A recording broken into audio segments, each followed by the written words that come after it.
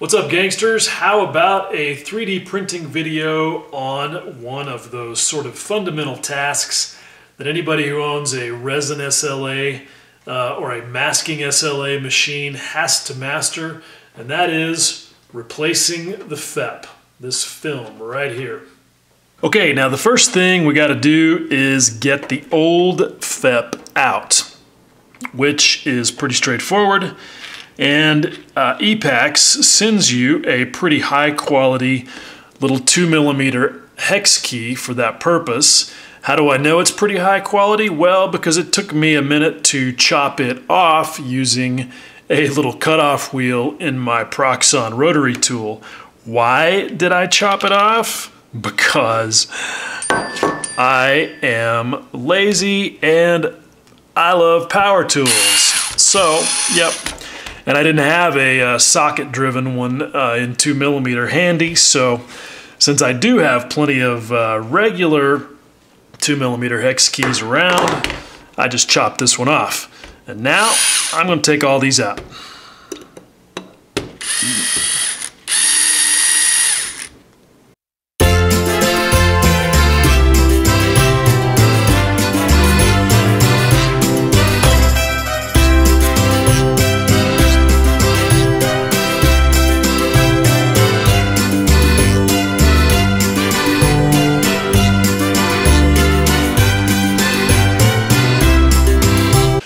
Okay, that right there is how you handle 16 hex head screws. Uh, actually, socket head cap screws, countersunk socket head cap screws. Nomenclature matters, right? Anyway, I almost forgot. Before I pop this out of here, let me show you exactly what the issue was. All right, now this this FEP, honestly, not that old. Um, I really don't think it should have failed this soon. Uh, this probably has got, I don't know, maybe 10, 10, uh, 10 prints on it, maybe. I, I honestly can't remember. But here's what has happened, okay? You can see right there by my fingertip, there's a couple of specks of resin that are stuck to the thing. And I, I did everything that I could think of and that other people recommended to get, to get that all clean. Namely, I started out by running that little clean cycle where you know you print a little sheet of resin without the build plate in and then you peel that out and it's supposed to take all the trash out with it and it generally works pretty good. But these little specks have not been coming up and I chose to just I thought I had got them all scraped off, apparently not. Anyway, they just wouldn't come up using the standard method. So I asked on uh, the Anycubic group on Facebook and I got a whole bunch. Uh, well, the first guy that responded was, you know, did you use the standard uh, clean cycle trick? And of course, we discussed that. And then of the remaining 20 responses, half of them were idiots who can't take the time to read the fucking thread and understand what's already been discussed and just have to offer their so called helpful advice so they can feel cool even though it's totally useless. But hey, that's a whole different rant about uh, internet etiquette. Anyway, there were some other good suggestions. One of them was use your thumbnail or your knuckle underneath the FEP to try and you know just create some upward pressure make it a round surface that that chunk of resin will hopefully pop off of. Well that did not work. I tried using my thumbnail. That obviously also did not work and what it ended up doing was creating a dimple in the FEP which actually is pretty easy to do. See I can make another one right here I mean, you can basically, you know, you can damage the FEP pretty easily. Uh, anyway, um, and as you can see, my repeated scraping also had punctured it. Um, so that this thing was done. So given that it was done, I started trying different things. Another guy suggested acetone. Now, acetone, chemically speaking, should have no effect on any type of cross-linking resin. Um, I mean, it's, you know, as we know, resin is not something that dissolves the way that, say, polystyrene does when you use Tamiya Extra Thin on it, or you use MEK, or, or you know, something like that. Um, so I didn't really suspect that acetone was going to work, and it in fact did not. But there were two guys in that thread who swore up and down that acetone worked for them all the time. So what I suspect is that this is a lot like some things where it depends on the specific resin you're talking about. This is Anycubic Craftsman Gray, and maybe other resins, because of different modifiers they have and different properties, uh, actually can be softened with acetone but not this stuff. Another idea that I actually thought was pretty good was to use duct tape. Um, I haven't tried that yet. Pretty sure that's not going to work because I seriously, I, I have done. I mean, I have I have tacked this thing with a number of uh, scrapers, plastic scrapers, even a metal scraper, after letting it soak in acetone for a few minutes and it's just not coming off of there. I mean, it's, you know, it is what it is. So that is why I am replacing the FEP and as you can see, it's now out. And the next step is to go the other way and put the new one back in. All right, here we go. So uh, Epax sends you with the machine a spare film. Nicely packaged in this piece of protective styrofoam. So what they want you to do, because I did watch their video uh, on the uh, Epax 3D site. Great, and that's, there we go, got that out of there. All right, so what they want you to do is just basically place it on the uh, bottom of the of the vat. Now, hopefully I can do this. Um, it, this is the kind of thing that pre-spinal cord injury I would have done with my eyes shut because I had very nimble fingers and am highly mechanically inclined if I do say so myself. But I've really been dreading this because as you can see, my damn lobster hands, yeah, pretty clumsy. And I've missed a couple of little bits of resin. Obviously, we don't want that underneath film. So, all right, I think we're I think we're in business now. Anyway, I've been really dreading this because uh, I felt like that with my manual dexterity limits being what they are, that this was going to be kind of a uh, monkey fucking a greasy football sort of affair. And it may still be. I don't know. I'm, you know.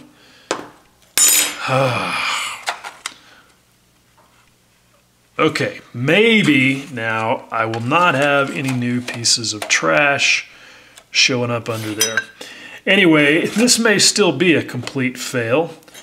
I feel, you know, I mean, that's the risk with anything that I try to do on camera. But uh, we'll see. Anyway, so what they want you to do is put the thing on there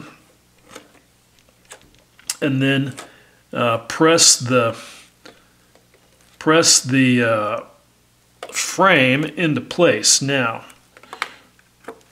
I don't know how that's going to go. That, that may not work out good. We'll see. Um, I may not be able to press that down in there like this. All right, so that didn't really work out good.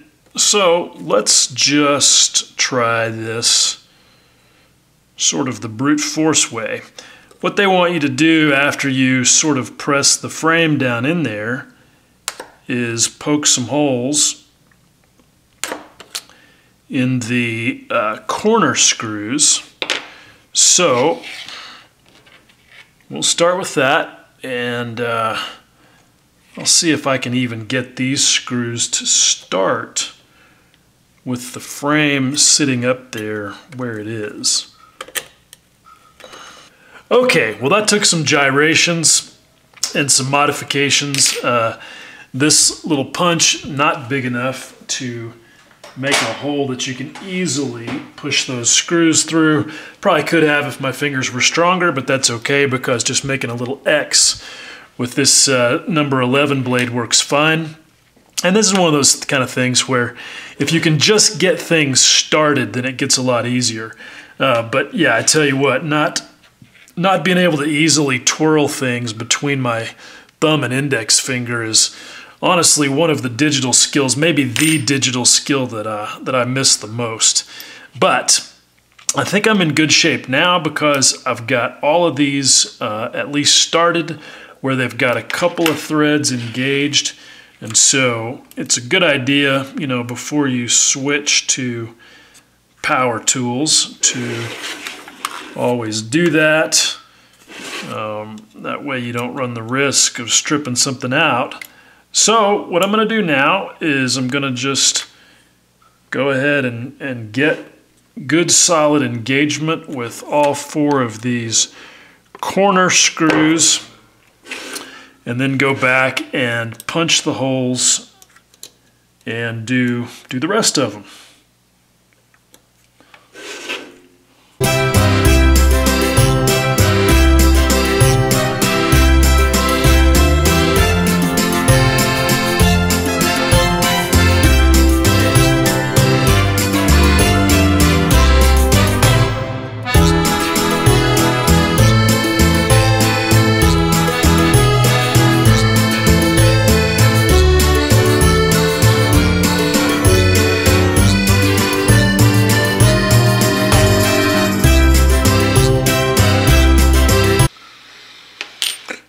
Okay, so that's got all the screws in and started. And now, of course, what I want to do is to be able to just run them in there with the power tool. Now, some of you may be recoiling in horror right now because if I recall correctly, uh, one reason that I really was hesitant to ever buy a 3D printer in the first place was because everything I watched about replacing this film said that uh, getting the correct tension on it was a matter of getting these screws all threaded in uh, at the right amount and you know all of them equal. And then you got people who are you know tapping on this thing with a tuning fork and saying that you got to have you know a certain frequency for it to be the right amount of tension and I was like oh hell no now what I like about the Epax system, and I quickly saw this from their, from their own tutorial video, is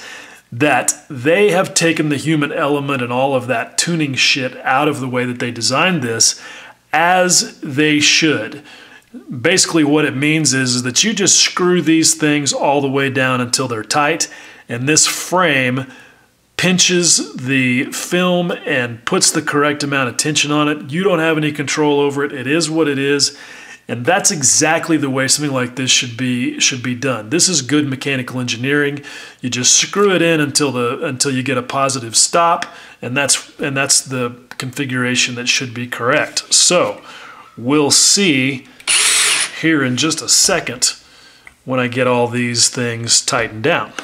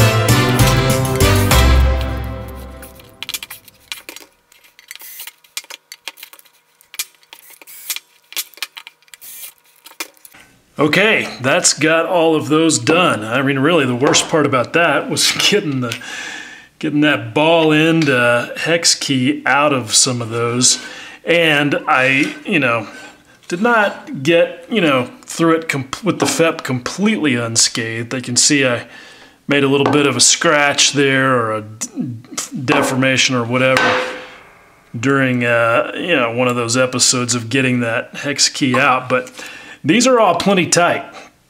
There's, uh, I mean, these, this new generation of, of little bitty brushless uh, cordless drills are phenomenal. I discovered these things when I was having renovations done on my house, and my contractors were using these to drill into concrete and screw anchor bolts directly into concrete. I was like, I got to have one of those.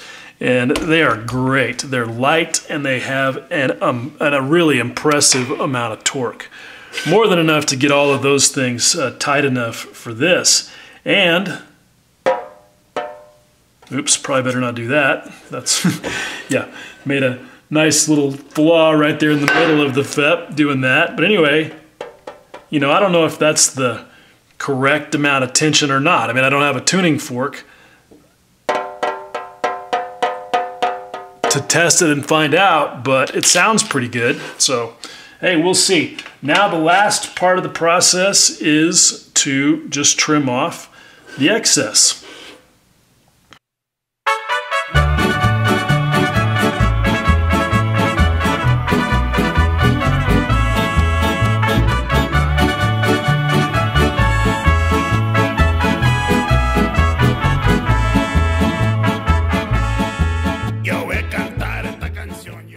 Okay, so there you go. Got it done. Um, and uh, yeah, I'm honestly, I mean, I'm kind of stoked that I managed to pull that off because, like I said, I've been dreading it. I did not want to do this at all. In fact, I, you know, talked to the folks at EPAX and I suggested, hey, why don't you guys do a VAT exchange program? Uh, because I'm sure that, you know, in addition to guys like me that just have poor physical dexterity, don't really want to spend the energy doing this themselves, that you know your average dentist, which is kind of what they aim their machines at, they, they probably don't want to mess with that either. Um, and a VAT exchange program would be great because you just uh, order up a new VAT. Uh, when you get it, you put yours in the same box, turn it right back around to them, and they credit you with like 80% of whatever the cost of the new VAT was. Um, you know, I mean, that's a service that, I mean, a, a brand new VAT is 79 bucks. I know that because I just ordered a new one um, because I figured out that even if I'm going to do this myself, that I don't want to be slowed down in my printing, so I want to have another vat handy that I can just swap in there. So, uh, you know, look, I would gladly pay 20 or 30 bucks to have somebody else do what I just showed you guys on camera. That may not be the case for you, but there's, you know, there's circumstances where um, yeah, I'm more than happy to throw money at it. They actually thought it was a pretty good idea. They didn't know if it was something that they would do, you know, but uh, they took it on board, and so we'll see. Anyway, new FEP, time to get back to printing. And uh, hopefully you found this useful, uh, regardless of what kind of 3D printer you own, but especially if you own one of these little EPAX X1 4Ks. So, as always, I appreciate you watching, and much love.